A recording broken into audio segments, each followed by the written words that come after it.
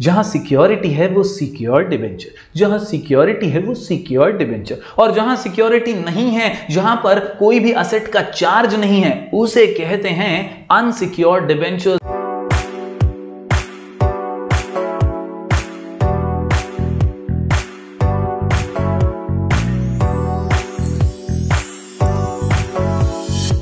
Hello everyone मैं हूँ जयेश राजगोर और स्वागत है आप सभी का इस नए इंटरेस्टिंग यूट्यूब वीडियो में। दोस्तों, हम पढ़ रहे हैं क्लास ट्वेल्थ का एसपी यानी सेक्रेटरी प्रैक्टिस और हम पहुँच चुके हैं chapter number two sources of corporate finance पर। आज के इस वीडियो में हम जानेंगे टाइप्स ऑफ़ डिबेंचर्स के बारे में। दोस्तों, अगर आप इस चैनल पर नए हैं तो ज़रूर प्लेलिस्ट में जाइए। वहाँ आपको चैप्टर वाइज वीडियोस मिलते रहेंगे। आपको एसपी इकोनॉमिक्स ओसीएम के चैप्टर वाइज वीडियो मिलेंगे। तो ज़रूर ज़रूर ज़रूर एक बार प्लेलिस्ट सेक्शन में जाइएगा। अगर नए हैं तो ज़रूर चैनल को सब्सक्राइब कीजिए बेल आइकन दबाइए, क्योंकि यहाँ आपको लगातार ऐसे ही इंफॉर्मेटिव वीडियोस मिलते रहेंगे। तो दोस्तों, जब बात आती है डिबेंचर्स की तो याद रखिए, ये एक लोन है, ये एक डेट है, जो कंपनी ने लिया है, जहाँ पर इसे हम बोरोड कैपिटल का नाम दे सकते हैं। दोस्तों बोरोड कैपिटल यानी पराया पैसा, और इसी का नाम है डिबेंचर्स दोस्तों debentures are one of the principal sources of raising borrowed capital to meet long term and medium term financial needs यानी अपनी लॉन्ग टर्म और मीडियम टर्म फाइनेंशियल नीड्स को पूरा करने के लिए जरूरतों को पूरा करने के लिए जब पैसा कम पड़ जाए तो ऐसे में कंपनीज़ डिवेंचर्स इशू करती हैं।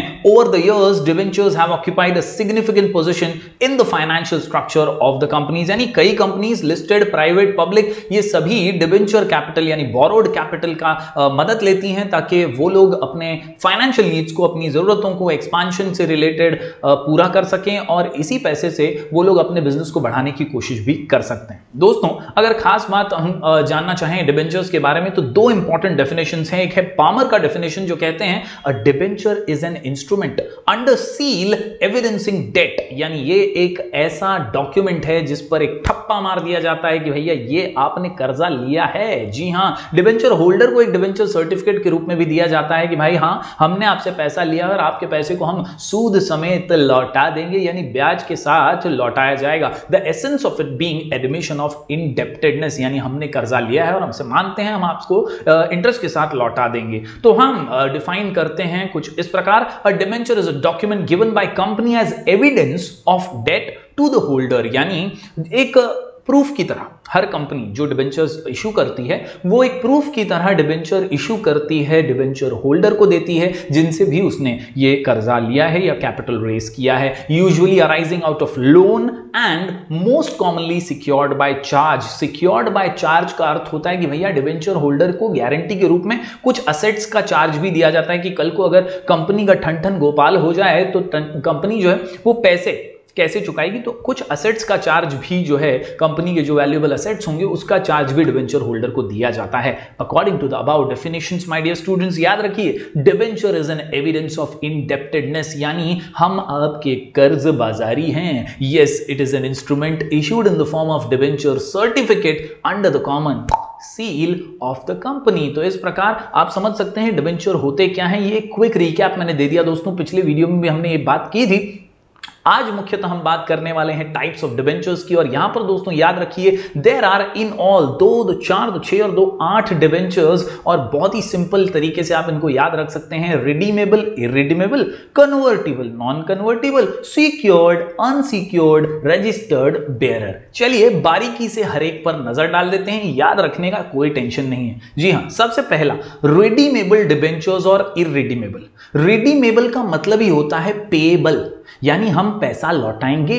तो रिडीमेबल डिबेंचर्स का अर्थ ही ये होता है कि भैया, आज नहीं तो कल। मेच्योरिटी डेट जो हमने आपको दी है, उस दिन आपको पैसा वापस मिल जाएगा। डिबेंचर्स आर मोस्टली रिडीमेबल ज़्यादातर डिबेंचर्स जो है रिडीमेबल ही होते हैं, यानी पेएबल होते हैं। Payable at the end of some fix period जो भी तय हुआ होगा पीरियड कि भैया, इतने साल बाद आपको पैसा लौटाया जाएगा इंटरेस्ट के साथ लौटाया जाएगा। ये सारी बातें जो है, वहाँ पर मेंशन होती हैं डिबेंचर सर्टिफिकेट में, और उसी के अनुसार पैसे जो है रीपे किए जाते हैं। As mention on the debenture certificate. Repayment can be made at fixed date at the end of specific period or by installment during the lifetime of the company. The provision of repayment is normally made in the trust deed यानी जो trust deed जो sign होता है उसके अंदर भी इसका mention किया हुआ होता है कि भैया कब रीपेमेंट हो जाएगा। इसके अलावा दोस्तों, अगर बात करें दूसरे इंपॉर्टेंट टाइप की तो इसका नाम है इरिडीमेबल डिबेंचर जी हाँ दोस्तों, पैसा जो है पे नहीं होगा।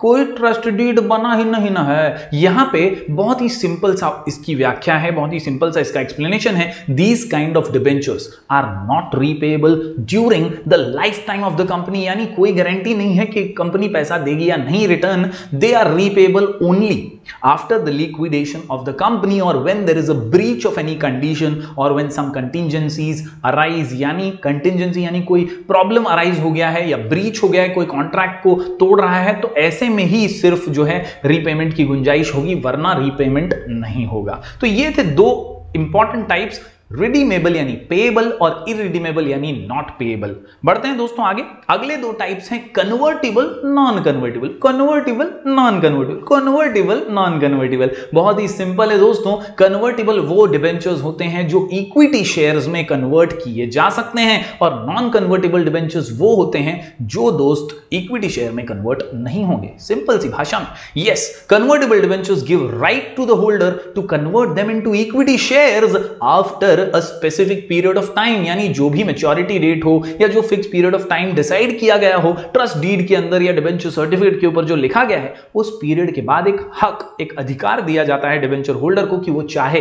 तो अपने बोरोड फंड को बोरोड कैपिटल को ओन्ड कैपिटल में कन्वर्ट कर ले इक्विटी शेयर में कन्वर्ट कर ले, इससे उसका फ़ायदा जो है बढ़ जाएगा अप्रिसिएशन भी हो सकता है, उसके कैपिटल में उसका फ़ायदा छुपा हुआ है। Yes my dear student such right is mentioned in the debenture certificate, the issue of convertible debenture must be approved by special resolution in general meeting before they are issued to public. यानी इसके बारे में एक special प्रावधान resolution बनाया जाता है meeting में डिस्कस किया जाता है और फिर ही यह अधिकार दिया जाता है पब्लिक में डायरेक्टली इसे इशू नहीं कर सकते दीज डिबेंचर्स आर एडवांटेजेस ये तो फ़ायदेमंद है क्योंकि जो होल्डर है उसका यहाँ पर दोनों हाथ में उसके लड्डू हैं। दोनों तरफ़ से उसको फ़ायदा हो रहा है। एक तो उसको कंपनी डिबेंचर के तौर पर ब्याज भी दे रही थी उसको रीपेमेंट भी हो, होने वाला था और अब वो इक्विटी शेयर यानी कंपनी का मालिक भी बन जाएगा। Because of this conversion right convertible debenture holder is entitled to equity share at rate lower than the market value यानी जो मार्केट वैल्यू है उससे लोअर रेट पर उसको इक्विटी शेयर में कन्वर्ट करने का मौका मिल जाएगा। बढ़ते हैं दोस्तों अगले टाइप की ओर। तो ये है नॉन कन्वर्टेबल डिवेंचर काफ़ी आसान सा कन्वर्टेबल जो कन्वर्ट हो जाते हैं इक्विटी शेयर में वो अधिकार होता है, लेकिन नॉन कन्वर्टेबल वो हैं जहाँ पर इक्विटी शेयर में कन्वर्जन नहीं होता। Non convertible debentures are not convertible into equity shares on maturity जी हाँ मैच्योर हो जाने के बाद इक्विटी शेयर में कन्वर्ट नहीं हो सकते। These debentures are redeemed on maturity date यानी बॉस जैसे ही आपका काम खत्म हो गया, आपका टाइम समाप्त हो गया तो आपको मेच्योरिटी डेट के बाद रीपेमेंट मिल जाएगा। आपको इक्विटी शेयर होल्डर में कन्वर्जन नहीं मिलेगा इल है। Yes these debentures suffer from disadvantage that there is no appreciation value क्योंकि आप वहाँ पर इक्विटी बनकर इक्विटी शेयर होल्डर बन के मालिक तो नहीं बन पाएँगे ये डिसएडवांटेज है। बढ़ते हैं दोस्तों अगले दो टाइप्स की ओर तो ये है सिक्योर्ड डिवेंचर्स और अनसिक्योर्ड डिवेंचर्स यस सिक्योर्ड और अनसिक्योर्ड सिक्योर्ड और अनसिक्योर्ड याद रखिए Yes, my dear students, the debentures can be secured.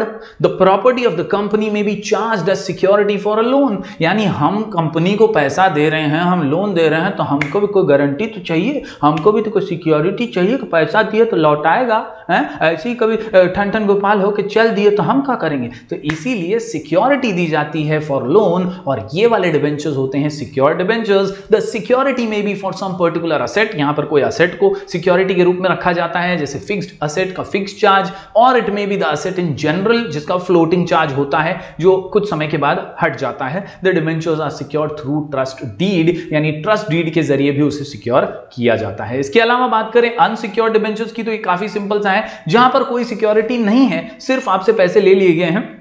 कोई स्पेशल एडिशनल सिक्योरिटी यहाँ पर आपको चार्ज के रूप में नहीं दी जा रही असेट्स वगैरह की तो वो होते हैं unsecured debentures these are the debentures that have no security the issue of unsecured debentures is now prohibited by the companies act 2013 तो यहाँ पर एक खास बात आपको बता दूँ कि अब ऐसे डिबेंचर्स जो हैं अनसिक्योर्ड वाले, वो इशू नहीं होते हैं. ज़्यादातर डिबेंचर्स को सिक्योरिटी दी जाती है. यहाँ पर कोई असेट का चार्ज दिया ही जाता है. अनसिक्योर्ड अब नहीं इशू होते. बढ़ते हैं दोस्तों, आगे आखिरी दो टाइप टाइप्स की अगर मैं बात करूँ तो यहाँ पर रजिस्टर्ड डिबेंचर्स और बेरर डिबेंचर्स रजिस्टर्ड यानी वो डिबेंचर्स जिनके बारे में सारा कच्चा चिट्ठा, सारा लेखा जोखा जो है रजिस्टर के अंदर मेंटेन्ड है।